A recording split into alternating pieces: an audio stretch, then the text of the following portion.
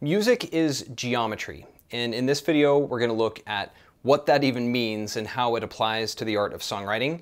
And this is really essential stuff. It's fundamental to music theory, which is fundamental to songwriting, because the fact that music is geometry is about the logic and structure of how music works, since music is all about patterns.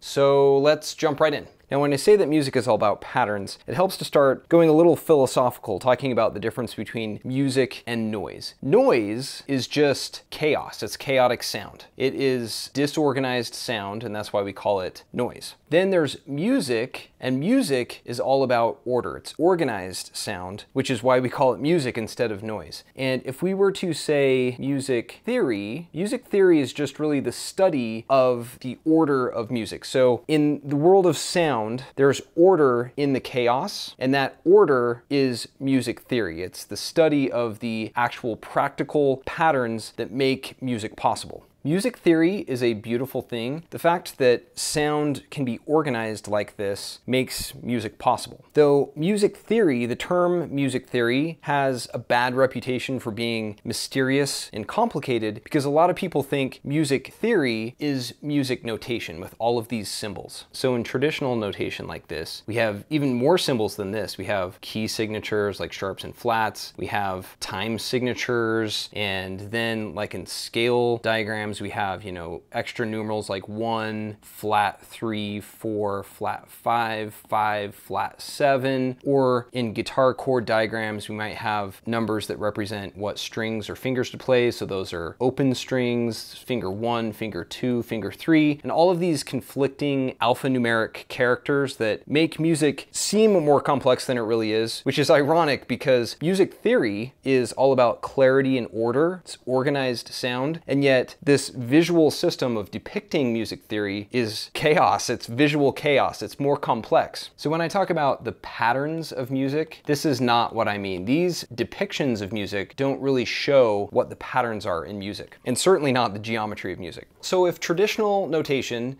and diagrams like that are not music theory, if that is not really what music theory is, then what is it? Let's step back and look at what music theory is in the first place. Music theory, by definition, just means to see sound. The word theory comes from the Greek theoria, which means to look at, view, or see. So theory means to see, and music is sound. So to see sound is the definition of music theory. But if you want to really see sound, then it's not looking at music through these convoluted diagrams like this. A better way is to use the natural patterns of sight, color, to visualize the otherwise invisible patterns of sound, music where you take the 12 notes of the chromatic scale and then rearrange them into a special pattern called the circle of fifths, that shows how all of the notes in music are harmonically related where the color wheel perfectly aligns with these 12 notes of the circle of fifths to visually represent how these notes are related. So you can see how the color wheel and the circle of fifths follow the same pattern. They are the same pattern. Only one is visible while the other is audible, but like two languages that tell the same story, they are essentially one. And then you just rearrange this pattern back into the chromatic scale that we use to actually form patterns like scales and modes and chords and progressions. Only now, with the color, it's easier to see how the notes of the chromatic scale form perfectly symmetrical relationships. And the reason they're symmetrical is because both the circle of fifths and the color wheel, circle and wheel, are cyclical patterns, where there's a natural geometry between all of the notes that's cyclical and symmetrical. Now in total there are six basic geometric patterns that form. The first one is the sharp 4 slash flat 5 between all of the notes. Basically the tritones or complementary colors here form a star pattern. Then you have all of the four intervals 4 and 5 in every key which form this starburst pattern, a star between all of the notes. And then you have major 3 and flat 6 which is a triangle between all of the notes in every key. And then you have flat three and six, which forms a square between all of the notes. And then there's two and flat seven, two interlocking hexagons, and flat two and seven, which is a dodecagon, really the chromatic scale. And together these six patterns are fundamental and help shape all of the other patterns in music. Now these six geometric patterns look really cool between all of the notes and the colors in music, but what's the practical application of all of this? Are these just pretty diagrams or is there some use to it?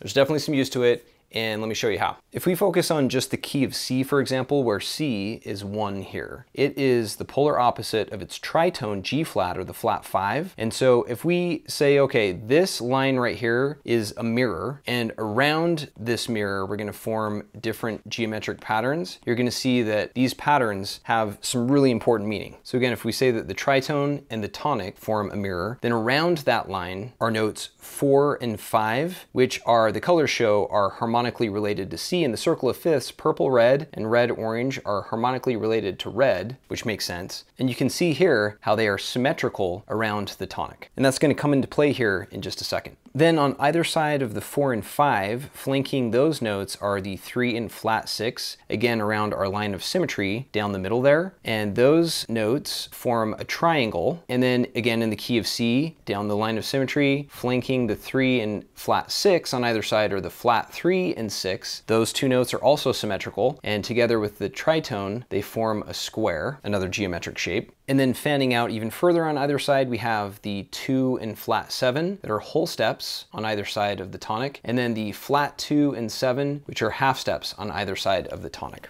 So the practical application of all of this is that these geometric connections, these special relationships between notes inform all of the patterns that you play in music from scales and modes to chords and progressions. So for example, we might use nerd speak to say a major second, and a flat seventh. Or in geometric terms, we might say those are part of a hexagon. Or we might say flat second and major seventh, which are part of a dodecagon. Now that's really nerdy, but in layman's terms, those are just whole steps and half steps. And whole steps and half steps are used to form scales, like the major scale, and all of the modes that are derived from that pattern. So you can say scale, and that's fine, but it does really help to be a nerd to be able to use the terminology of music, and it helps to be a super nerd to understand that those intervals are really part of geometric connections because once you know that there's an order and a logic to those connections, then you can start to see way more. You don't have to just memorize whole steps and half steps. You understand that they're part of geometric patterns, and music is all about order in the chaos of sound. And so let's look a little more at another example. So looking at these scales and modes, for example, these are parallel modes in the key of C. If we see that the C Ionian mode or the C major scale is a whole step, whole step, half step, whole step, whole step, whole step, half step. Really, these whole step intervals are part of a hexagon. These half step intervals are part of a dodecagon, and that's why this pattern works, because music is audible geometry. These whole steps and half steps, or intervals of major seconds and flat seconds, if you're going in a clockwise direction, or flat sevenths and major sevenths if you're going in a counterclockwise direction, those geometric lines, those patterns, are what make this scale. Likewise, the Dorian mode is just another arrangement of whole steps and half steps. It's just segments of hexagons and dodecagons that make that pattern. And, and, the same is true for all of the scales and modes. So in music, these two patterns, the hexagons and dodecagon, or the realm of intervals of two and seven, this is where scales are formed. And then looking at intervals of three and six, major three and flat six, or flat three and major six, in other words, triangles and squares, this is where chords are formed. These are the intervals that form chords. So for example, if we look at these basic triads, triads are just three note chords. If we take the major chord, it's a major third and a minor third, or part of a triangle and part of a square. Or the minor chord is part of a square and part of a triangle. The augmented chord is made, of, made up of two major third intervals, or part of a triangle, and really the augmented chord itself is a triangle. All these chords are in the key of C, for example. And then a diminished chord is made up of two minor third intervals, which are part of a square. So while intervals of two and seven make up the scales, intervals three and six make up the chords. Chords are about intervals three and six. So then what about these last two, four and five? Well, sharp 4, flat 5 is what gives us the symmetry. It's the connection between tritones. But then intervals 4 and 5, this star right here, this pattern is all about progressions. To show you what I mean, if we have the circle of fifths, which is all of the notes in a color wheel pattern, this inner ring is major chords. So from C to G, G to D, D to A, A to E, and so on. This forms a ring of harmonically related chords. And then this middle ring is all of the minor chords that are also in a circle of fifths arrangement. And then this outer ring is all of the diminished chords in a key arranged also in a circle of fifths arrangement. So over here in the minor ring, you have C minor to G minor to D minor to A minor to E minor and so on, following an order of fifths in a clockwise direction or in a counterclockwise direction from C minor to F minor to B flat minor to E flat minor and so on. In a counterclockwise direction, you have all of the fourths. So intervals of five in a clockwise direction or intervals of four in a counterclockwise direction inform chord progressions. So these geometric patterns inform progressions. The four and five inform progressions. Three and six inform chords and two and seven inform scales.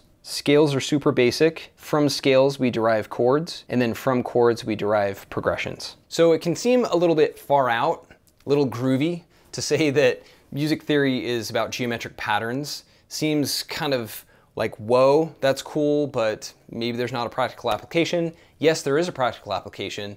These patterns totally inform everything in music. So that's just a quick look at the geometry of music, what it even means, how to apply it, and once you see how these patterns inform the order and organization of music, which is music by definition, you can really make use of these patterns to make really cool songs.